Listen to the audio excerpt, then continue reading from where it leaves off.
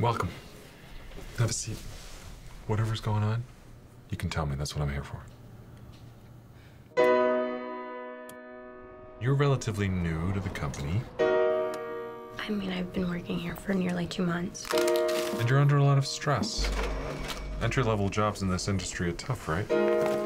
Long hours? First one in, last one out. Good night. You're smart. You have to be smart. It's a tough job, but I can see that you've got what it takes. I want those new pages before I get on the plane. He promised them first thing. Where are we at? 200K and two points. That's bull. Maybe you can put in a good word for you. No, he'll hire externally. Listen, his schedule has shifted to 7 p.m. work. Still at the hotel or? Yes. What? This is turkey. I said chicken. There's a girl waiting. Oh, her. She's been here before. A few times.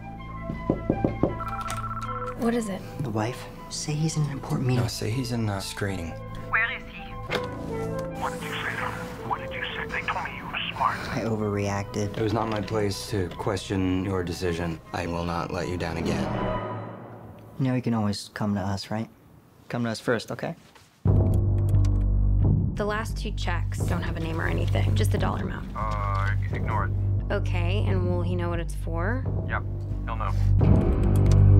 I wouldn't sit there. Never sit on the couch. here and here, initial here, sign there. Do I need a lawyer or something? Do you have a lawyer? What happened? Where'd you go?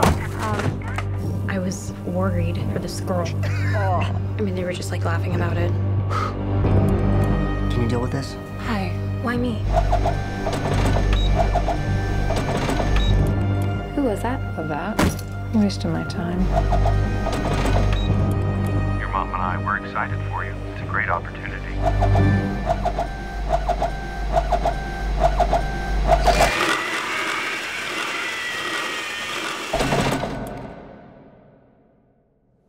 What can we do?